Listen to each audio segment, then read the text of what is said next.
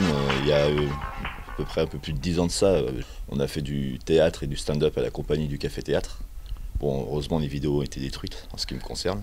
Aurélien et Romuald ont ouvert il y a près de deux ans le Poum Poum Chak, un bar à scène qui promeut entre autres le stand-up. On a voulu reprendre ça, on a remis le bar au goût du jour euh, et avec notre version. Il y a quelques temps, on a ouvert en juin 2021.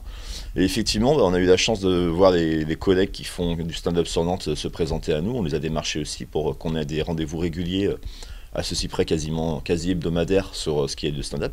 Le seul rôle que j'ai là-dedans, euh, il est facile et puis il est cool, c'est bah, de, de faire en sorte que de propos, justement de proposer cette opportunité euh, le plus souvent possible. Mine de rien, c'est un métier. Hein. Les gens, faut pas croire. hein. Il y a des gens qui pensent que barman, des gens me demandent encore euh, si j'ai un autre métier à côté. Non, j'ose même pas imaginer ce qu'ils subissent en faisant de l'humour. Bah, on tient la rage haute pour continuer à défendre la culture sous toutes ses formes. On est euh, on est cul et chemise avec le dive bar et d'autres bars qui continuent de faire de, l'événementiel. Mais dans l'hypercentre, il n'y a plus énormément non plus de lieux où on, peut, on a la chance de pouvoir, ne serait-ce que comment euh, l'endroit est fait, de pouvoir euh, faire ce genre d'organisation, de concerts, de stand-up justement. On se veut un café culture à Nantes. Euh, Il y en a quand même quelques-uns, c'est cool, parce qu'il y a des live bars aussi où ils peuvent se produire et compagnie. Et bien évidemment, leur propre, leur propre bar qu'ils ont monté, là, le Micro Comedy Club, qui est vraiment très très cool. En dépit d'avantages certains, le métier d'humoriste exige parfois un rythme frénétique, qui plus est dans la cité des Ducs. à l'échelle des, professionnels de ce milieu le stand-up là.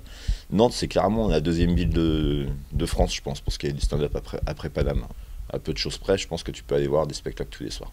Quand ils s'adaptent à des formats de, de bar comme ça, de- en fait, ils jouent 5 minutes max ou 10 minutes, c'est vraiment euh, eux-mêmes aménagent leur, leur répertoire pour que ça colle à l'endroit. Il y en a un, il joue là, et après il prend son vélo, puis il file au dockyard où il y a une autre scène le même soir, et il rejoue le truc, et il revient là après pour le deuxième plateau. Ouais, et ils font du sport. Un sentiment partagé au Comedy Club.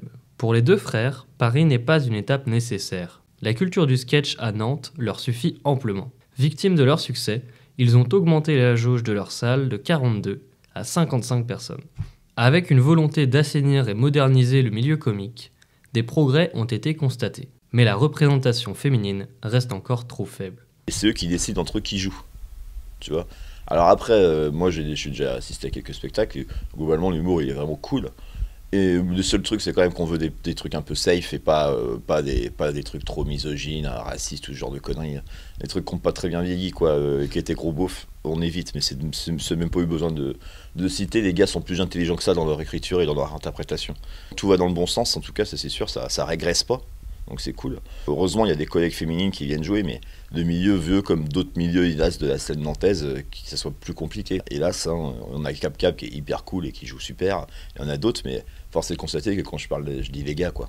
Malgré ses revers, le métier reste créateur de liens et permet une interaction entre le public et le comédien unique en son genre.